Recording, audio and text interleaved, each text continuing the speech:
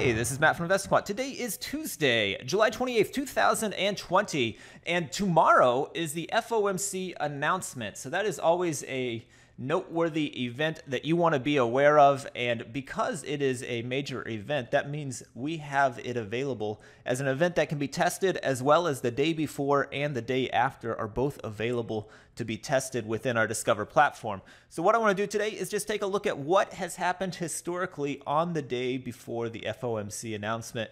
And we'll keep it simple, just add a simple 200 uh, day moving average to it. So, there's not going to be a whole lot to it in terms of uh, price action context, we're just going to be looking at this seasonality like study. So let me set it up here. We will look at all four instruments.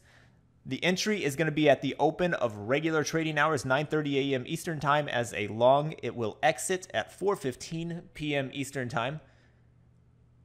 The market event is down here on the left.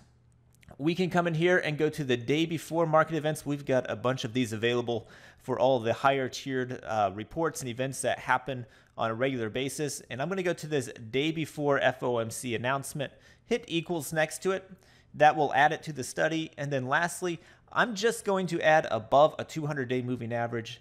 You know, we can get as creative as we want here and discover uh, adding opening filters, price patterns, all that sort of stuff. But for today, I just want to keep this simple and look at what has happened the day before FOMC announcement when above the 200.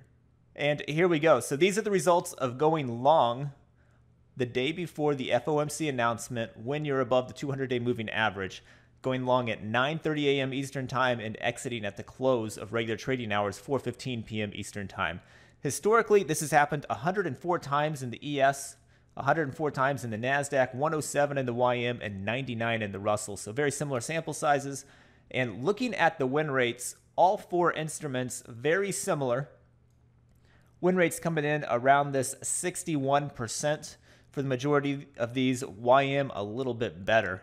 But historically, these have leaned a bit more towards the bullish side on this day. And if you look down at the average win to average loss, you'll notice all of the wins on average are bigger than the average loss.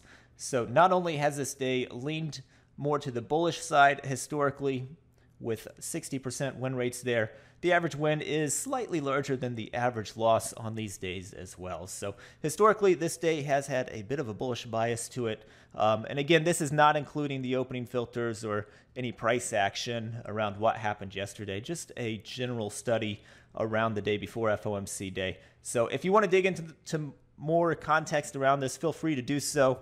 I'm going to leave it at this. Uh, good luck today, guys, and we will see you next